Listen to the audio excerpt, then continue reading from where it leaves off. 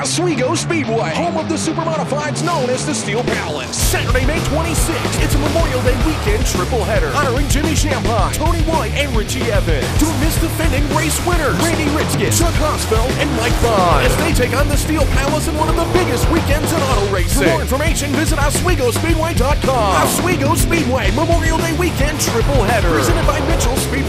Featuring the Race of Champions Modified. Saturday, May 26. Kids 16 and under 4. Created All.